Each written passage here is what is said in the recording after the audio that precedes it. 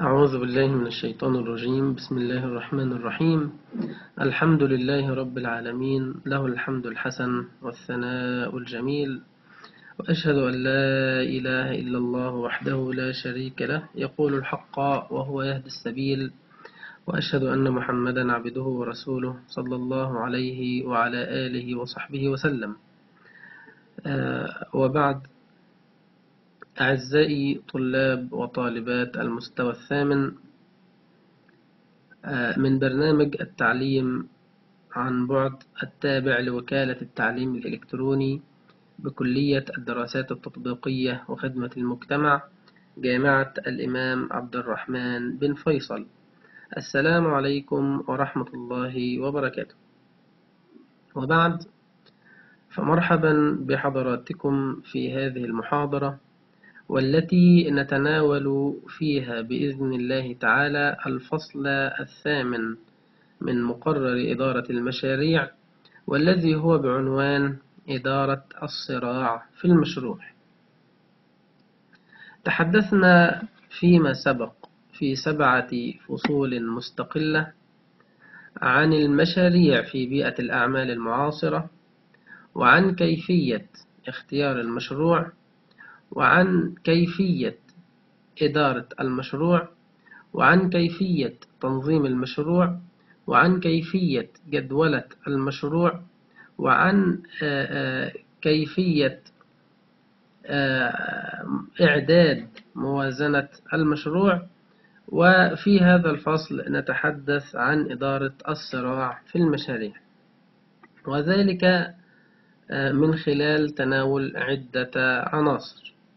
العنصر الأول نتعرف سويا على مفهوم الصراع في التنظيم بشكل عام ثم نتعرف على أسباب الصراع في المشاريع ثم مصادر الصراع في المشروع ثم أدوات حل الصراع في المشاريع بدءا من التفاوض والشراكة وعقد الالتزام. في البداية المشروع بصفة خاصة والمنظمات بصفة عامة تتعامل في بيئة مفتوحة وتتعدد الأطراف ذات الصلة بهذه المنظمات وذات الصلة بهذه المشاريع. مثل الملاك العاملين الموردين العملاء الموزعين إلى آخره من الأطراف ذات الصلة بالمنظمات أو ذات الصلة بالمشاريع. هذه الأطراف الملاك على سبيل المثال مثل المساهمين في شركات الأموال مثل الشركاء في شركات الأشخاص مثل الأصدقاء أو أفراد العائلة في المنشآت الفردية التي يمتلكها عائلة معينة أو مجموعة أصدقاء. العاملون الناس اللي بتعمل في المنظمة بدءا من مدير الإدارات ومدير العموم ورؤساء الأقسام وحتى العاملين في المستويات الدنيا. الموردون الذين يوردون للمنظمة احتياجاتها من المواد الخام ومن مستلزمات الإنتاج. العملاء الذين يشترون يشترون منتجات المنظمة. سواء كان هؤلاء العملاء عملاء تنظيميون أو عملاء نهائيون. عميل تنظيمي يعني بيشتري منتجات المنظمة علشان يشتغل بها علشان يعمل بها يعني عاوز يشتري منتجاتنا علشان يعيد بيعها مرة أخرى أو يشتري منتجاتنا علشان يعيد تصنيعها ثم يعيد بيعها مرة أخرى يدخلها يعني في منتج عنده يستخدمها في التصنيع ومن ثم يبيعها مرة أخرى. دول عملاء تنظيميون أو عملاء من المستهلكين النهائيين يعني اللي بيشتري منتجات المنظمة علشان يستهلكها أو يشبع احتياجاته الخاصة هذه الأطراف كلها ذات صلة بالمنظمة وذات صلة بالمشروع. الشاهد أن كل طرف من هذه الأطراف كل طرف من هذه الأطراف يقدم للمنظمة أشياء وهناك أهداف يسعى إلى تحقيقها. كل طرف من هذه الأطراف يقدم للمنظمة أشياء وهناك أهداف يسعى إلى تحقيقها. هؤلاء الأطراف جميعهم يطلق عليهم مسمى أصحاب المصالح. كل واحد من أصحاب المصالح يقدم للمنظمة أشياء وهناك أشياء يسعى إلى تحقيقها من وراء تعامله مع المنظمة أو مع المشروع. فعلى سبيل المثال الملاك ماذا يقدمون للمشروع أو ماذا يقدمون للمنظمة بصفة عامة؟ يقدمون رأس المال. يقدمون رأس المال الأموال اللي المشروع بيشتغل بيها. طب هو ليه بيقدم للمشروع رأس المال؟ علشان في النهاية عاوز يحقق إيه؟ عاوز يحقق أرباح. يبقى هو بيقدم حاجة وينتظر الحصول على شيء آخر من المنظمة أو ينتظر تحقيق هدف معين من خلال أو من وراء تعامله مع المنظمة. ده بالنسبة للملاك. طيب. بالنسبة للعاملين العاملين بيقدموا إيه للمنظمة؟ بيقدموا مهارات بيقدموا خبرات بيقدموا وقت بيقدموا مجهود. طب وبينتظروا إيه من المنظمة؟ بينتظروا من المنظمة حوافز مادية وحوافز معنوية حوافز مادية بشكل رواتب. في شكل مكافآت في حوافز معنوية في شكل ترقية في شكل زيادة قيمته في المنظمة.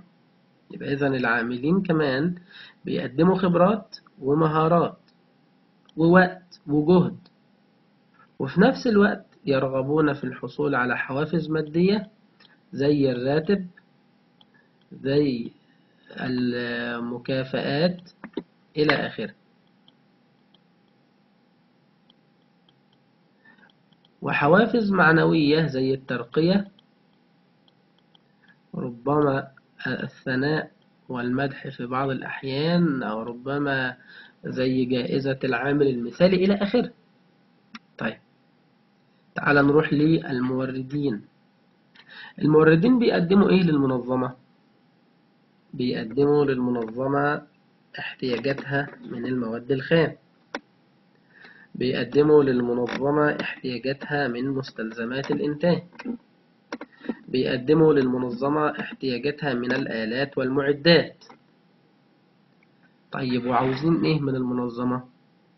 عاوزين يحققوا من التعامل بتاعهم مع المنظمة أرباح. يعني ياخدوا فلوس والفلوس دي بعد شوية بيحققوا من خلالها أرباح. وبالتالي الموردين بيساهموا في توريد المواد ومستلزمات الإنتاج للمنظمة أو للمشروع وفي نفس الوقت يحصلوا على المقابل الإيه؟ المقابل النقدي المقابل النقدي اللي هم بيحصلوا عليه ده المفروض يغطي تكاليفهم ويحققوا منه كمان إيه؟ ويحققوا منه أيضا أرباح طب تعال نشوف العملاء العملاء بيقدموا للمنظمة إيه؟ بيشتروا منتجاتها ويدفعوا فلوس بيتكلموا عن المنظمة كويس في يعني المجالس بتاعتهم. دي اسمها الورد اوف ماوث لأن ده بيخلي صورة المنظمة أو صورة المشروع جيدة. بيحاول إنه يعني إيه يأثر على أصحابه وحبايبه إنهم يتعاملوا مع المنظمة بتاعتنا لو كان راضي عنها. طيب وفي المقابل عاوز إيه؟ ها؟ عاوز إنه يشبع حاجاته ورغباته من خلال استخدام المنتجات بتاعتنا. يبقى إذا العملاء بيشتروا منتجاتنا سواء يعني منتجات المنظمة أو المشروع وفي نفس الوقت عاوزين المنتجات دي تكون إيه؟ آه، تشبع احتياجاتهم تشبع احتياجاتهم ورغباتهم. إذا الشاهد من هذه الجزئية أيها الطلاب والطالبات آه، أن المشروع بصفة خاصة والمنظمة بصفة عامة يتسم واقعها بأنها آه، تتعامل مع أطراف مختلفة ومتعددة مثل الملاك والعاملون والموردون والعملاء. هذه الأطراف يطلق عليها اسم أصحاب المصالح وكل طرف من هذه الأطراف له أهداف يسعى إلى تحقيقها. له أهداف يسعى إلى تحقيقها. وكل طرف من هذه الأطراف يقدم أشياء للمنظمة وينتظر تحقيق أشياء من المنظمة أو ينتظر أن تقدم له المنظمة أشياء أخرى. الملاك يقدمون رأس المال ويرغبون في تحقيق الأرباح. العاملين يقدمون الخبرات والمهارات ويرغبون في الحصول على الحوافز المادية والمعنوية. الموردين يوردون المواد ومستلزمات الإنتاج ويرغبون في الحصول على المقابل النقدي لذلك. لأن هذه المواد وهذه المستلزمات. العملاء يشترون منتجات المنظمة ويرغبون في إشباع احتياجاتهم. طيب ما علاقة ذلك بموضوع الصراع في المشاريع. هذه الأطراف إذا اتسقت أهدافها مع بعضهم البعض فلا بأس ولا مشكلة. متى تظهر المشكلة ومتى يظهر البأس؟ إذا اختلفت أو تعارضت أهداف هذه الأطراف. إذا تعارضت أهداف طرف من هذه الأطراف مع أهداف طرف آخر أو مع أهداف أطراف أخرى تظهر المشكلة أو يظهر ما يسمى بالصراع التنظيمي يظهر ما يسمى بالصراع التنظيمي ولذلك بيقول لي إيه؟ بيقول لي إن الصراع التنظيمي بينشأ عندما تتعارض أهداف أحد هذه الأطراف الملاك أهدافهم تتعارض مع أهداف العاملين. يعني الملاك عاوزين بيقدموا رأس المال وعاوزين أرباح والعاملين بيشتغلوا وعاوزين ياخدوا حوافز أو مزايا مادية ومعنوية. طيب افترض إن الملاك قالوا إيه؟ لأ إحنا عاوزين نكسب كتير قوي فما تديش للعاملين مكافآت. يبقى هنا تعارض هدف تحقيق الربح اللي بيسعى إليه الملاك مع هدف الحوافز أو المزايا المادية اللي بيسعى إليه العاملين فيحصل صراع بين الملاك والعاملين. أو على سبيل المثال الموردين بيجيبوا لنا المواد ومستلزمات الإنتاج وعاوزين مبالغ معينة إحنا متفقين معاهم عليها. طيب إحنا قلنا خلاص يعني تعالى نخصم منهم علشان نوفر وندفع للعاملين حوافز. ها يبقى هنا تعارض أهداف الموردين مع أهداف العاملين. فإيه اللي يحصل؟ اللي يحصل إن يبقى فيه صراع بين العاملين والموردين. يجي مثلا حد من المديرين يقول إيه اخصم من الموردين وأنا بكده لما أخصم وأوفر فلوس هقدر أصرف مكافآت. يبقى أنت حصل تعارض بين أهداف العاملين وأهداف الموردين. يبقى حصل بينهم صراع تنظيمي أو تيجي مثلا تقول إيه العملاء بيشتروا المنتجات عشان تشبع احتياجاتهم. طب إحنا علشان العاملين آه ما يقدموش جهد كتير ما اهتمناش قوي بالجودة والجوانب بتاعة المنتج. فلما راح للعميل العميل كان غير راضي عنه. يبقى هنا تعارضت أهداف العملاء مع أهداف العاملين. العملاء عاوزين المنتج متصنع بجودة عالية ويشبع احتياجاتهم. العاملين كسلوا شوية ومش عاوزين يشتغلوا. فهنا حصل صراع بين العملاء والإيه؟ والعاملين وهكذا. وبالتالي الصراع التنظيمي ينشأ عندما تتعارض أهداف أحد الأطراف أصحاب المصالح مع المشروع أو المنظمة مع أطراف أو مع أهداف طرف آخر أو أطراف أخرى. مش كده وبس؟ ده ممكن يحصل تعارض للأهداف بتاعة الملاك وبعضهم البعض. يعني مثلا يحصل تعارض لأهداف حملة الأسهم العادية مع أهداف حملة الأسهم الممتازة. يبقى في حصل صراع داخل المجموعة الواحدة. أو يحصل صراع بين العاملين وبعضهم البعض على اللي هيحصل على الموارد الأول علشان يشتغل يخلص شغله. يبقى هنا حصل صراع داخل المجموعة الواحدة. أو يحصل صراع بين الموردين وبعضهم البعض أو بين العملاء وبعضهم البعض. يعني الصراع هنا ممكن يحصل بين مجموعة والتانية أو يحصل داخل المجموعة الواحدة داخل بين أفراد ها المجموعة الواحدة. أو حتى فرد من الأفراد اللي موجودة في مجموعة من دول أهدافه تتعارض مع أهداف المجموعة ككل. أهدافه تتعارض مع أهداف المجموعة ككل كل ده منشأ للصراع التنظيمي يبقى ثلاث حاجات بينشأ منها الصراع التنظيمي أولا هو بينشأ من حاجة أساسية واحدة وهي تعارض الأهداف. تعارض الأهداف ده ممكن يكون أهداف طرف مع طرف آخر أو مع أطراف أخرى أو أهداف أفراد داخل الطرف الواحد أو تعارض أهداف طرف داخل المجموعة مع الأهداف الكلية للمجموعة. ولذلك بيقول لي هنا إيه؟ وينشأ الصراع التنظيمي عندما تتعارض أهداف أحد هذه الأطراف مع أهداف طرف أو أطراف أخرى أو تتعارض أهداف الأفراد داخل كل طرف مع هذه مع أهداف من هذه الأطراف يعني مع أهداف المجموعة ككل.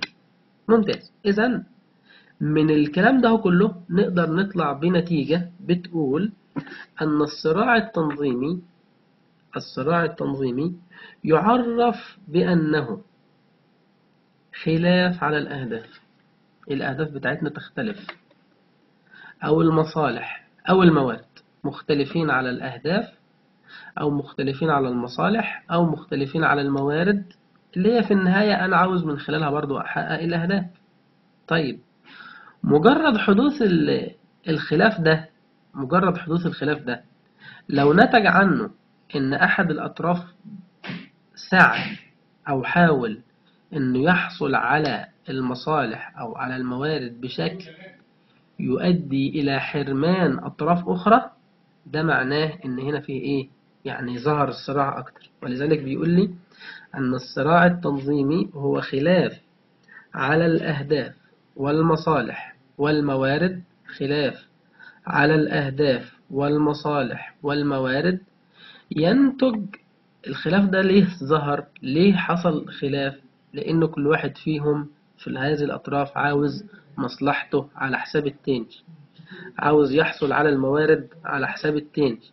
عاوز يحصل على يحقق المصالح على حساب التاني يبقى ينتج هذا الصراع أو هذا الخلاف عن سعي طرف أو فريق للحصول عليها يعني على الأهداف أو المصالح أو الموارد بشكل يؤدي إلى حرمان طرف آخر. يعني أنا عاوز أحقق مصلحتي على حساب مصلحة الطرف الآخر. يبقى هنا فيه صراع. عاوز أحقق أهدافي على حساب أهداف الطرف الآخر. يبقى هنا صراع.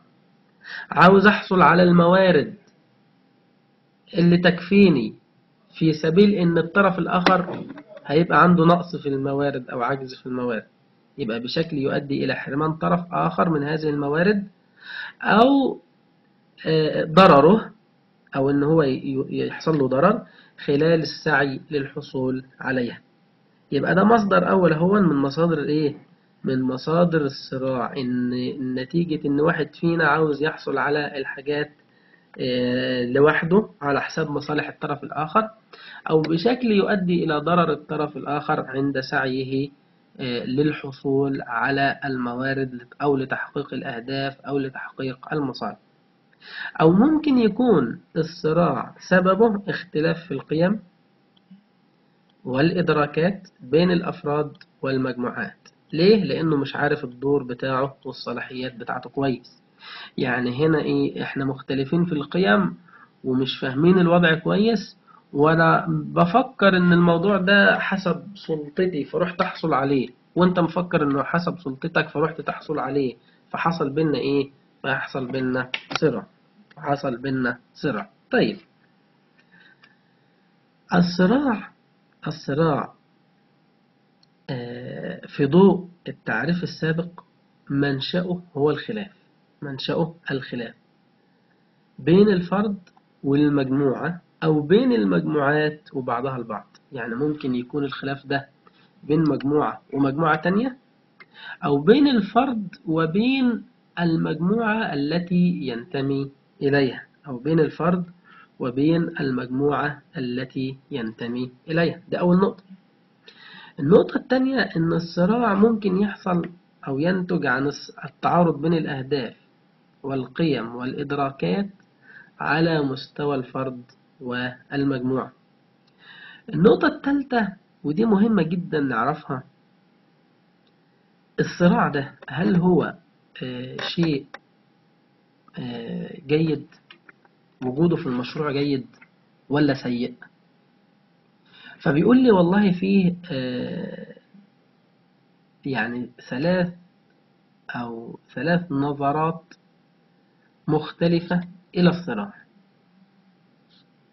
فيه نظرة بترى إن الصراع ضار للمنظمة ودي المدرسة الكلاسيكية. طيب حيث إنه ضار للمنظمة يجب تجنبه أو بمعنى آخر يجب عدم السماح بحصوله. يجب عدم السماح بحصوله. يبقى هنا بقول لك الصراع ده شيء ضار يبقى لا تسمح بأي شكل من الأشكال إن يحصل صراع طيب الكلام ده جميل ولكن هل في جميع الأحوال يكون في مقدور الإدارة سواء إدارة المشروع أو إدارة المنظمة أن تمنع حدوث الصراع. هل في جميع الأحوال يكون بمقدور المنظمة إن هي تمنع منعا باتا حدوث الصراع؟ يعني يقول لك إحنا هنا ما نسمحش إنه يحصل. فده كان سؤال بيحتاج إلى إجابة من أنصار هذه المدرسة. هل دايما أنت هتقدر تمنع إن الناس تختلف؟ ها؟ هل ده يعني سهل؟ أمر لا محتاج يعني مجهود جبار ومش هتقدر تقول إنك هتمنع. أنت جايز تقول هقلل حدوث الصراع لكن إنك هتقول همنع حدوث الصراع. يعني ده على الأقل هيحصل صراع بين الفرد وبين أهداف الإيه؟ وبين أهداف المجموعة اللي بينتمي إليها. فظهرت لنا المدرسة السلوكية وقالت يعني حكاية إنك تمنع حدوث الصراع ده أمر صعب لأن الصراع أمر لا مفر من حصوله. هم شايفين كده. بيقولوا الصراع هيحصل. كده كده هيحصل. فمفيش حاجة أو مفيش سبيل إن إحنا نقول امنع حدوث الصراع. ولكن آه آه إحنا ممكن نعمل إيه؟ مجرد ما يحصل الصراع نحله أو نستبعد الأثر السلبي بتاعه بمجرد حدوثه مش كده وبس؟ ده هم كمان شايفين إن الصراع أمر حيوي من أجل عملية التغيير. يعني إيه؟ يعني أنا مثلا مدير فريق عمل في المشروع وبقول مفيش حاجة اسمها إن أهدافك تختلف مع أهداف المجموعة بتاعتنا. بقول أنا بقول كده للناس اللي تحتي في فريق العمل في المشروع.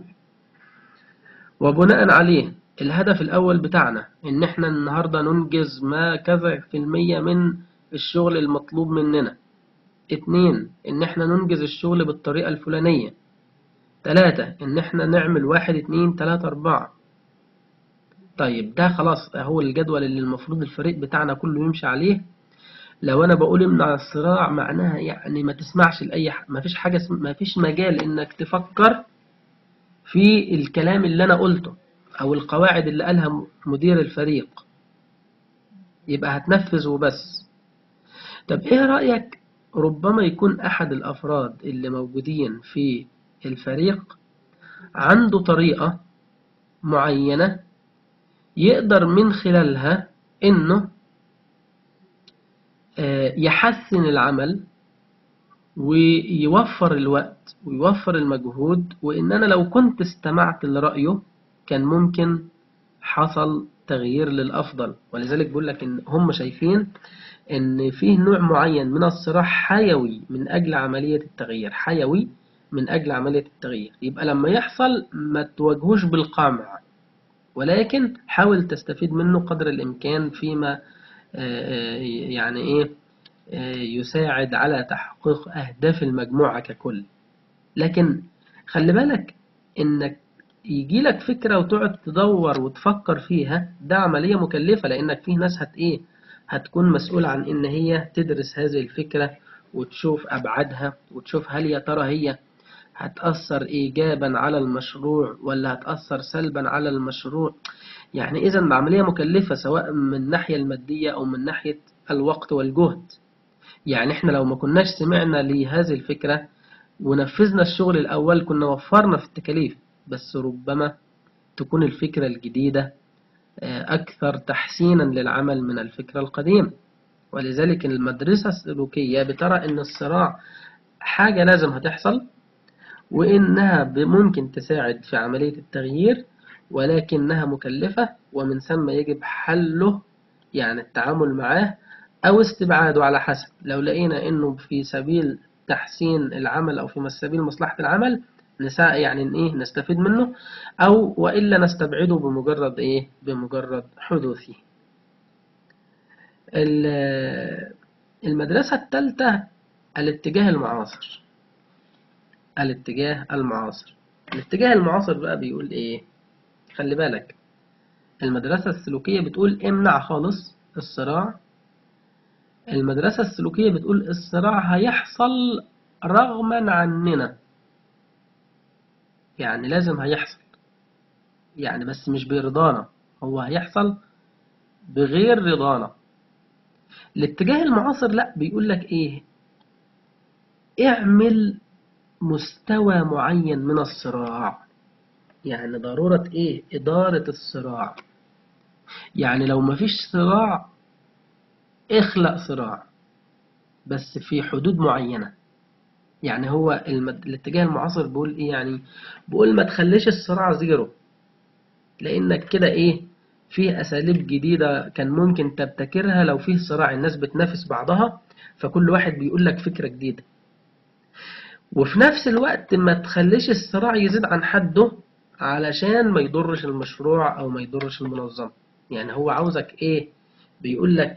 يعني لا تقول لي خلي الصراع صفر. لأن ده معناها إن الشغل راكد ومفيش حد بيدينا أفكار جديدة والناس ما بتتنافس لا تتنافس. وده إحنا مش عاوزينه إحنا عاوزينهم يتنافسوا ويقدموا أفكار جديدة ويساعدوا على تحسين المشروع ويساعدوا على تحسين المنظمة. وفي نفس الوقت ما تخليش الصراع يزيد عن حده علشان ما يؤديش إلى الضرر أو الإضرار بالمشروع أو الإضرار بالمنظمة ولذلك الاتجاه المعاصر بيرى ضرورة إدارة الصراع إدارة الصراع بشكل خلي بالك كده يحافظ على وجود قدر معين من الصراع الذي يحفز على ابتكار أساليب جديدة لتنفيذ الأعمال. يعني يبقى في شوية صراع صغيرين كده بين الناس وبعضها كل واحد فيهم بيتنافس مع التاني وعاوز يثبت إنه الأفضل فيقدم لي أفكار وأساليب جديدة أحسن بيها الشغل بتاعي. وفي نفس الوقت مع الحرص على عدم تفاقم الصراع بشكل يضر الإيه؟ بشكل يضر المنظمة أو يضر المشروع. أو يضر المشروع. اذا المدارس الإدارية نظرتها إلى الصراع اختلفت. المدرسة الكلاسيكية بتقول امنعه خالص المدرسة السلوكية بتقول هيحصل غصب عننا فحاول تستفيد منه قدر الإمكان وتتجنب الضر منه. الاتجاه المعاصر بقى بيقول إيه؟ لأ حتى لو مفيش صراع خلي فيه صراع بس بمستوى معين بشكل يخلي الناس تتنافس وتحسن العمل وفي نفس الوقت ما تخليش الصراع يزيد عن حده علشان ما يضرش الإيه؟ علشان ما يضرش المنظمة أو ما تخليش الصراع يوصل للحد اللي يضر المنظمة. خلاصة هذه الجزئية أن هناك أطراف عديدة ذات صلة بالمشروع وذات صلة بالمنظمة. آه، هذه الأطراف كل منها يقدم للمنظمة أشياء وينتظر منها أن تقدم له أشياء أخرى. الملاك بيقدموا رأس المال وعاوزين أرباح. العاملين بيقدموا مهارات وخبرات ومجهود ووقت وعاوزين مزايا مادية ومعنوية. الموردين بيجيبوا لنا المواد الخام ومستلزمات الإنتاج وعاوزين أموال آه، العملاء بي- بيشتروا منتجاتنا وعاوزين يشبعوا حاجاتهم.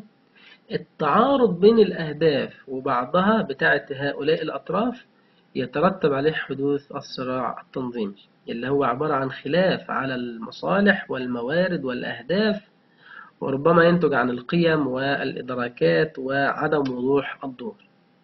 يعبر عن خلاف بين الفرد والمجموعة أو بين المجموعات وبعضها البعض. آه، ينتج عن التعارض في الأهداف أو القيم أو الإدراكات آه، نظرات المدارس الإدارية إليه مختلف ده النقطة الأولى في هذا الفصل والمتعلقة بمفهوم الصراع التنظيم. طيب إيه اللي يخلي الصراع يحصل في المشاريع؟ أسباب الصراع في المشاريع. خلي بال حضرتك قلنا قبل كده زمان أن المشروع له طبيعة خاصة. المشروع له طبيعة خاصة. أولا بيشترك فيه جهات عديدة. ثانيا الأنشطة بتاعته فريدة. فريدة يعني ما بتتكررش بنفس الصورة. ثالثا ال- آه، المن- يعني ليه وقت بداية ونهاية وكل مشروع ليه وقت مختلف عن التاني. فليه طبيعة خاصة ممكن يترتب عليها زيادة فرصة أو زيادة احتمال حدوث الصراع؟ طب تعالى كده نشوف. أولا بيقول لي خلي بالك المشاريع بتختلف عن المنظمات الوظيفية التقليدية وإحنا قلنا هذا الكلام سابقا. لأن المشاريع منظمات إيه؟ مؤقتة يعني لها وقت بداية ولها وقت إيه؟ نهاية غير المنظمة. المنظمة المشروع بيكون تابع للمنظمة. بالإضافة إلى أن فيه محددات في الوقت والتكاليف لازم تنجز المشروع في وقت معين ولازم تنجز المشروع في حدود تكلفة معينة ولازم تنجز المشروع بمواصفات معينة. ولذلك طبيعة الصراع في المشاريع بتختلف عن طبيعة الصراع في المنظمات الوظيفية التقليدية. طب تعالى بقى نشوف مع بعض. إيه هي الأسباب اللي تخلي الصراع يحصل في المشاريع؟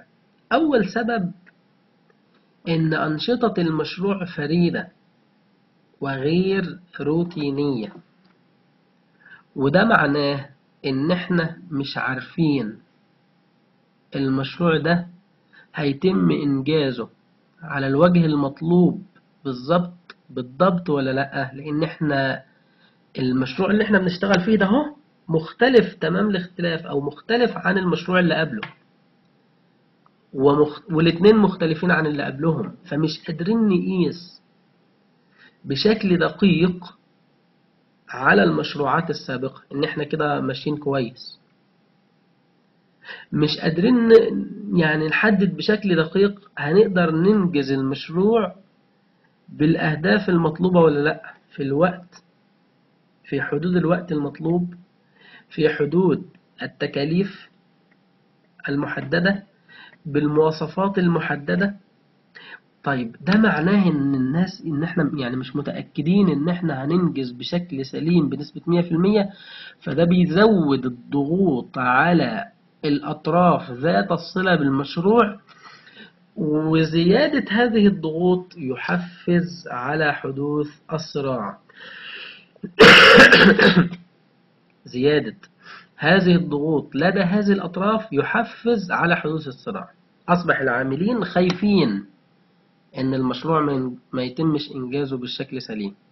أصبح العميل خايف إن إحنا نتأخر عليه. أصبح العميل خايف إن المواصفات اللي هو طالبها ما تكونش مظبوطة بنسبة 100% يعني أصبحت إيه فيه ضغوط إن ما يكونش المشروع بيتم على بيتم على النحو المطلوب. يعني أنت عارف على سبيل المثال تخيل نفسك رايح تشتري ملابس جديدة. طب هتشتريها جاهزة؟ فبتروح والله في المعرض وتشوف اللي موجود بمنتهى هدوء الأعصاب. لو عجبك بتشتري لو ما عجبكش بتسيبه وتمشي. تشكره وتمشي. يعني انت بتشتغل بأعصاب هادية بتشتري بأعصاب هادية. لكن تخيل إنك رايح بقى تفصل هذه الملابس وشاري قماش غالي ورايح للمختص وقعدت واديت له فأنت قلقان أحسن ما يطلعلكش الإيه؟ التفصيلة اللي في ذهنك لأنه بعد ما هيفصل آه، أنت خايف بقى ما تطلعش على النحو الايه المطلوب. فنفس الفكرة. المشروع إحنا يعني لسه بن هذه المواصفات هذه الأنشطة غير روتينية فريدة. أو يعني ما عملناهاش بنفس الصورة تيبيكال قبل كده. فإحنا مش متأكدين هنحقق الأهداف بتاع المشروع بالشكل المطلوب ولا لأ. آه صحيح بنبذل وعاوزين آه، بنحرص إن إحنا نحققها لكن برضو فيه ضغوط إن إحنا خايفين إن يحصل أي انحرافات. الضغوط دي لوحدها بتحفز على حدوث إيه؟ بتحفز على حدوث الصراع. السبب الثاني إن المشروع بيتكون من أنشطة. والأنشطة دي فيه بينها تداخل وفيه بينها اعتمادية تداخل واعتمادية. تداخل يعني فيه أنشطة بتتم مع بعضها البعض في نفس الوقت واعتمادية يعني فيه أنشطة ما ينفعش تتم إلا لما ننتهي من أنشطة أخرى سابقة عليها. طيب. وجود اعتمادية وتداخل بين الأنشطة ده يزود تعقيد المشروع. مش كده وبس؟ ده انت في مرحلة من المراحل بتجد نفسك محتاج مهندسين آه، استشاريين مهندسين مدنيين ومهندسين بتوع كهرباء ومهندسين تصميم وعاملين ومش عارف جهات عديدة. ممكن نشاط معين من أنشطة المشروع يحتاج أن يشترك فيه جهات عديدة. اشتراك الجهات العديدة ده برضه كل ما كانت الناس اللي هتشتغل في نشاط معين كتيرة ده برضه يحفز أو يعني احتمال اختلاف أهدافهم عن بعضها البعض يكون كبير وده يحفز على آه، آه، حدوث الصراع يحفز على حدوث الصراع ولذلك بيقول لك إيه؟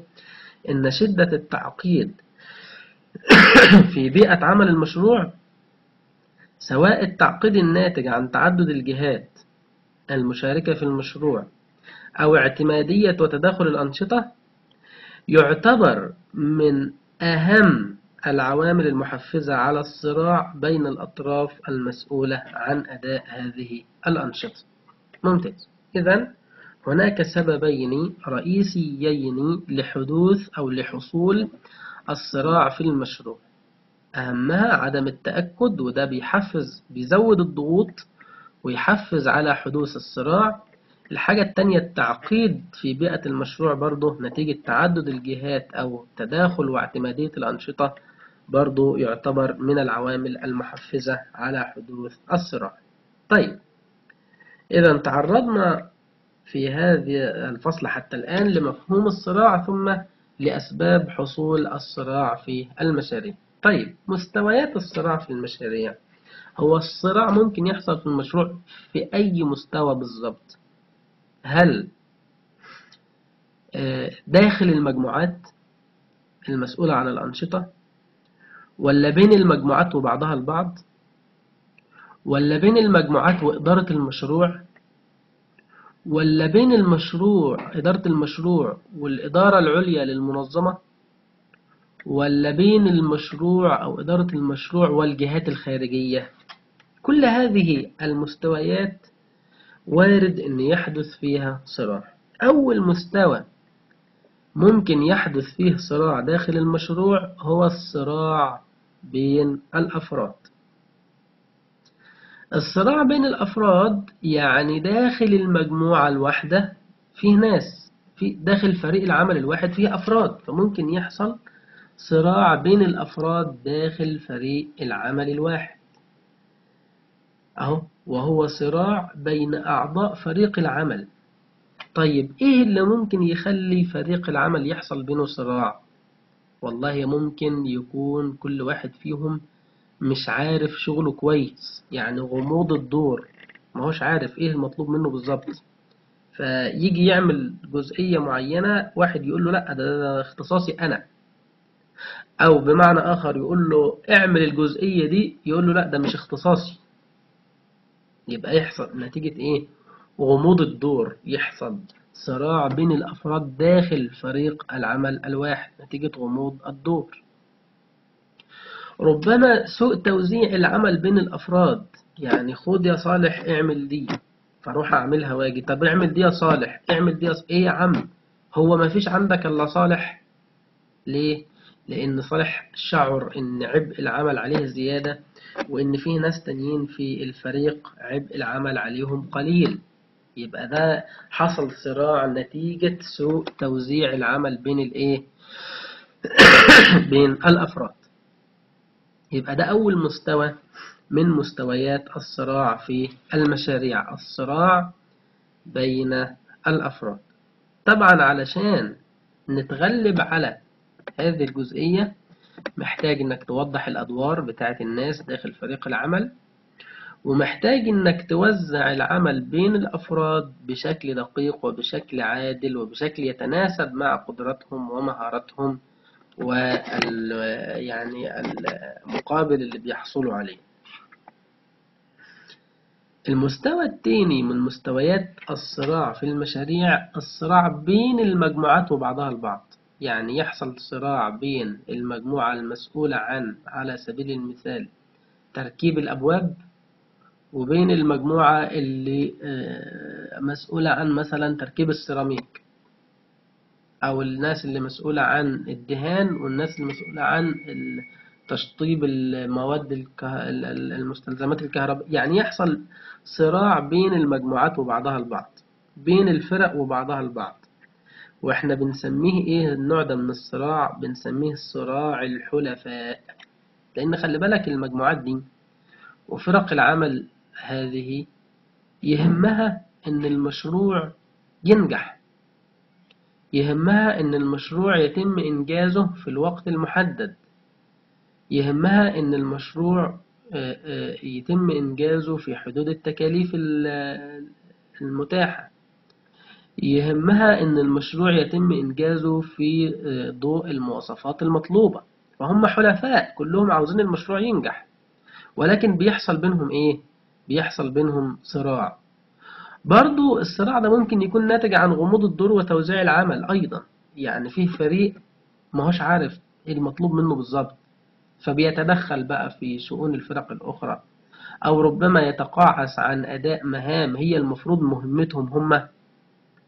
أو إن عبء العمل عليهم زيادة وفي فريق عمل آخر عبء العمل عليه قليل فيبدأوا يشعروا بعدم العدالة فيحصل صراع بين الفرق وبعضها. ربما أهداف المشروع نفسها هي السبب. ليه؟ لأن أنت حددت لي وقت وتكلفة معينة غير كافية فيحصل صراع بين المجموعات. ربما المسؤوليات والصلاحيات كل فريق له مسؤوليات معينة أو صلاحيات معينة ربما بعضهم يتخطى صلاحياته ومسؤولياته وربما بعضهم مش عارف مسؤولياته وصلاحياته الموارد محدودة زي ما قلت من شوية الوقت قليل التكاليف قليلة وقد تحدث هذه الخ... أو هذا النوع من الصراع نتيجة مصالح إيه؟ مصالح شخصية. إذا الصراع في المشاريع قد يحدث. بين الأفراد داخل المجموعة الواحدة أو بين المجموعات وبعضها البعض داخل الإيه؟ داخل المشروعات أيضا ممكن يحدث الصراع بين المشروع وبين الجهات الخارجية بين المشروع وبين الجهات الإيه؟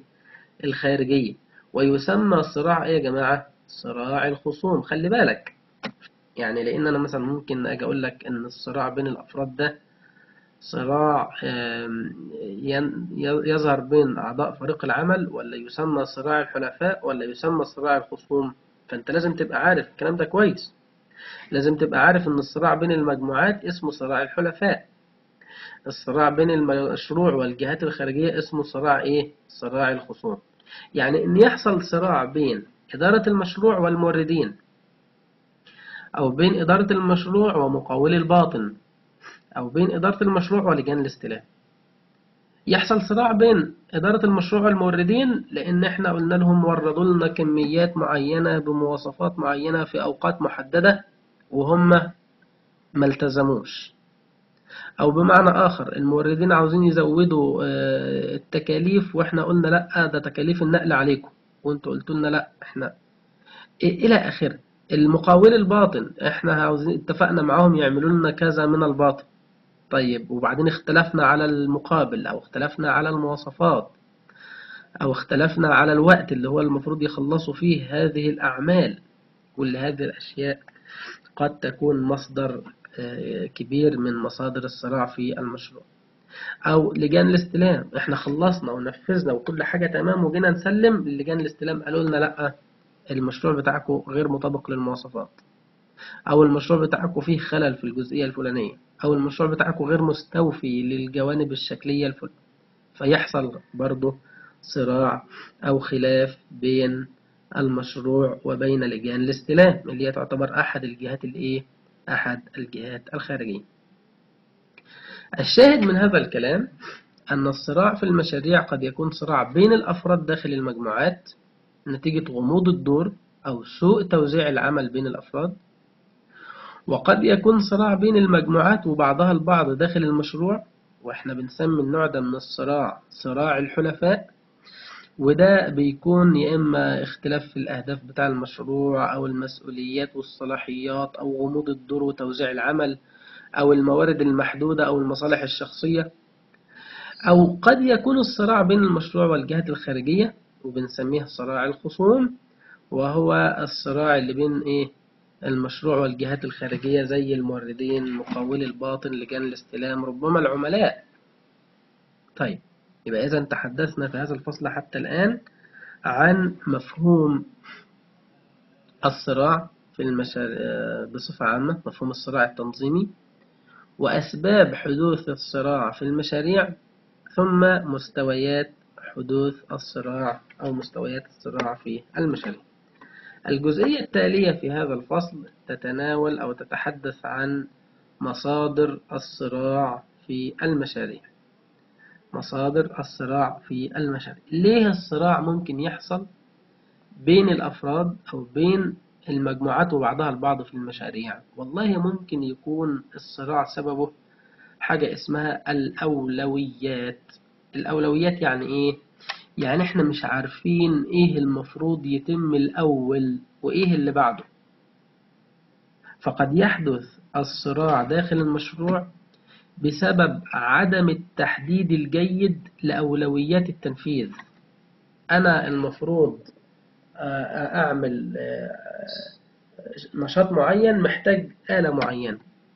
وبعدين فيه نشاط تاني بيستخدم نفس الآلة. فأنا رحت أخد الآلة وهو راح ياخد نفس الآلة والمشروع فيه آلة واحدة. أو إحنا الاتنين متاح لنا آلة واحدة. طيب. مين فينا المفروض ياخد الآلة الأول ويشتغل؟ المفترض إن هذا هذه الأمور تكون محددة في جدولة المشروع وفي الخطة. طيب. لو محددة خلاص اللي المفروض يشتغل الأول هي إيه؟ هياخد الآلة ويشتغل. طيب لو مش محددة هنتصارع بقى. أنا اللي لازم الأول لا أنا اللي لازم الأول.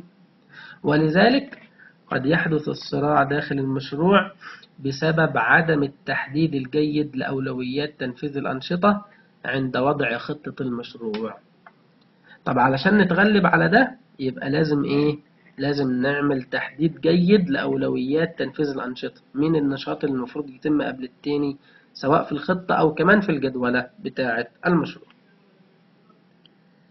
الحاجة التانية الإجراءات. ممكن تكون الإجراءات غير واضحة. يعني علشان أخد الآلة دي لازم أعمل أخد موافقة كذا وكذا وكذا. طب ما فيش معرفش الإجراءات دي فهو رايح كده اشتلها وامشي. فحصل صراع لكن لو كان فيه إجراءات وأنا مشيت في هذه الإجراءات كنت عافيت نفسي من هذا النوع من الصراع. يبقى بقول لي قد يحدث الصراع داخل المشروع بسبب عدم وجود أو عدم وضوح ممكن تكون موجودة بس مش واضحة. إجراءات عمل إدارية يتم الالتزام بها في المشروع. يبقى إذا علشان أتغلب على ده لازم يكون عندي إجراءات جيدة. المصدر الثالث للصراع في المشاريع هو الجداول الجدولة. ربما تكون الجدولة غير واضحة. فنفس الفكرة يحصل عندنا إيه؟ صراع في في المشروع. بسبب عدم التحديد الجيد لأوقات تنفيذ الأنشطة. فأنا جاي أنفذ النشاط والتاني جاي ينفذ فحصل بيننا اختلاف على الآلات والموارد وممكن على العمالة. لكن لو الجدولة واضحة ومعروف إن ده المفروض يخلص وبعدين التاني يبدأ ما كانتش حصلت هذه الاختلافات ولا هذا الصراع. كمان ممكن يكون من مصادر الخلاف أو الصراع في المشروع التكلفة. التكاليف الموازنة غير كافية. فلما كانت الموازنة غير كافية حبينا نجيب عمال زيادة ما قدرناش. فاحنا الاتنين عمالين دلوقتي يحصل بينا صراع مين اللي هياخد العمال النهاردة. أو حبينا نجيب آلات زيادة أو عدد زيادة ما عرفناش لأن مفيش تكاليف مفيش موازنة. الموازنة غير كافية. ساعتها برضو ممكن يحصل إيه؟ صراع على الموارد. نتيجة انخفاض أو نتيجة عدم وجود إيه؟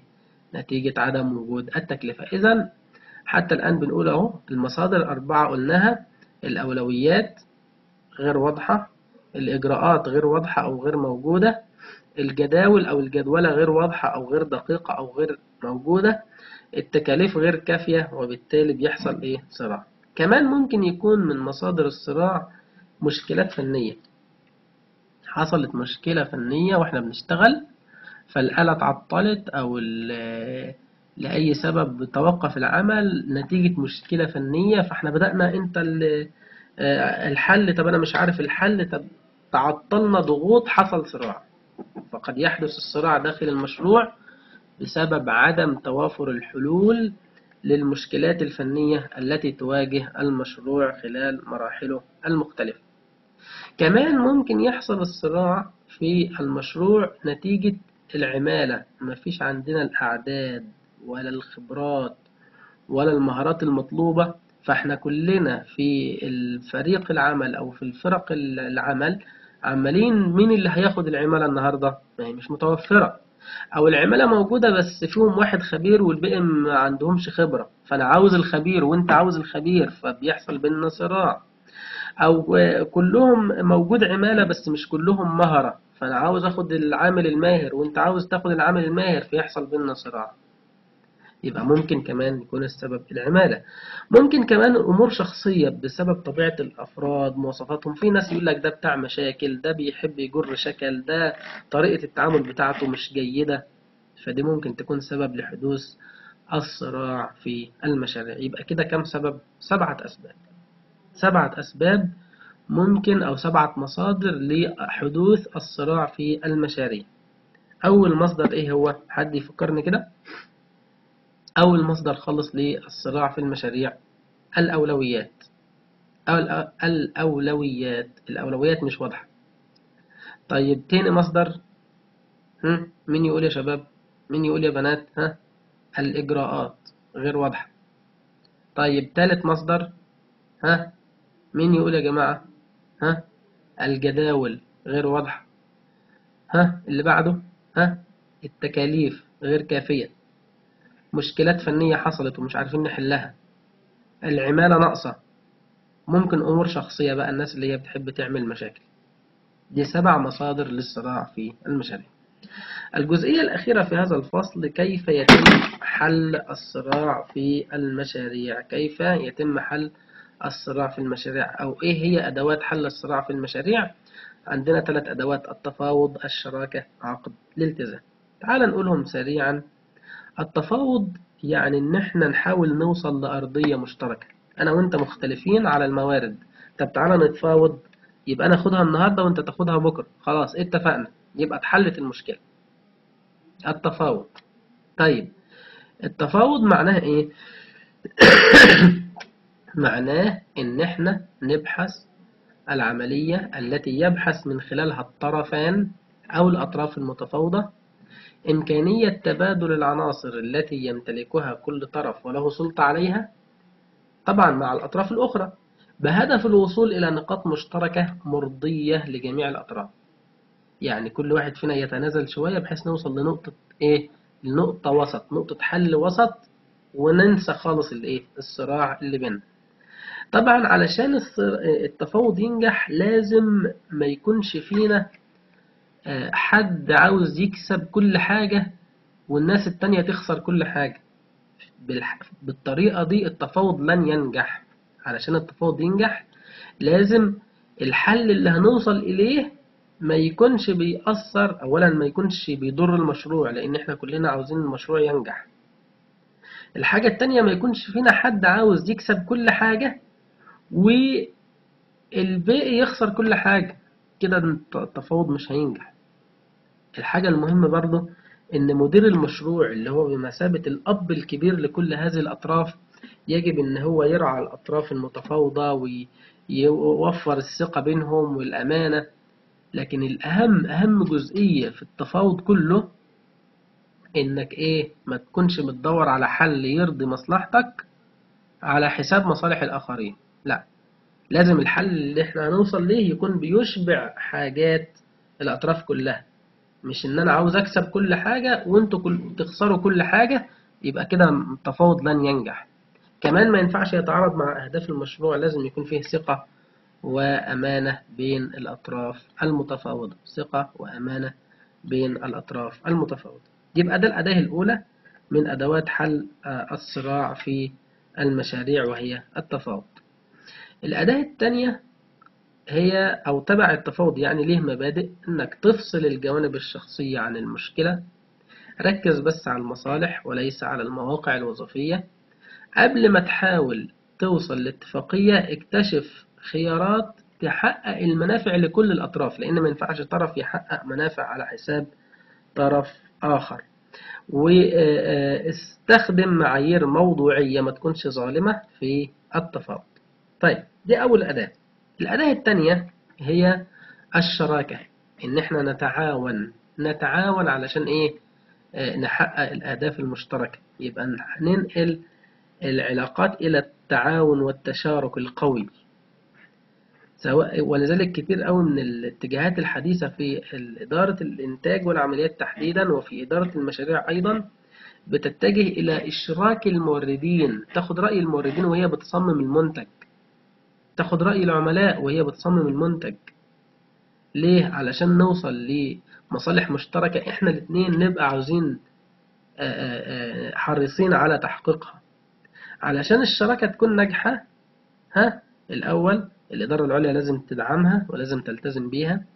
ال- الشركاء كل واحد فيهم لازم ينفذ المطلوب منه. تمام؟ عن طريق التقييم المشترك لتقدم المشروع إيجاد طريقة لحل المشاكل والخلافات أي تحسين وتطوير مستمر لازم نوافق عليه علشان يحقق الأهداف إيه؟ الأهداف المشتركة جميع الشركاء لازم يلتزموا بالمراجعة الدورية لتنفيذ المشروع والمحطات الرئيسية له يبقى الشراكة معناها إيه؟ التعاون والتشارك القوي بين المشروع وفريق المشروع من جهة وبين الموردين من جهة أخرى علشان إيه؟ إحنا والموردين نبقى مع بعض حريصين على تحقيق مصالح المشروع. وده هيقلل الصراع اللي بين إدارة المشروع وبين الموردين على وجه التحديد. الأداة الأخيرة خالص هي عقد الالتزام أو مذكرة التفاهم ودي اللي هي إيه بنقدر آه، يعني من خلالها زي ما بنقول كده إيه ال- العقد اللي إحنا هنمشي عليه.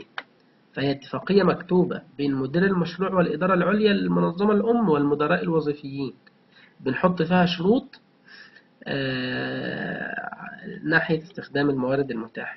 وده يقلل الصراع بين إدارة المشروع وبين الإدارة العليا للمنظمة الأم أو بين إدارة المشروع وبين الإدارات الوظيفية الأخرى في المنظمة. العميل طبعا مهم جدا أنه يشترك في هذه المذكرة لأن بيتحط فيها أيضا المواصفات اللي هو المفروض في الآخر عاوز المشروع يتم إنجازه بها. فهذه المذكرة كل الأطراف لازم توافق على هنعمل إيه هنعمله إمتى إيه الموارد اللازمة هنحتاجها إمتى تكاليفها كام إزاي هنحصل عليها الحاجات دي كلها بيتم إعدادها في عقد الالتزام. وده أحد الوثائق الهامة والضرورية للمشروع واللي اتكلمنا عنها أيضا في الفصل الأول من هذا المقرر.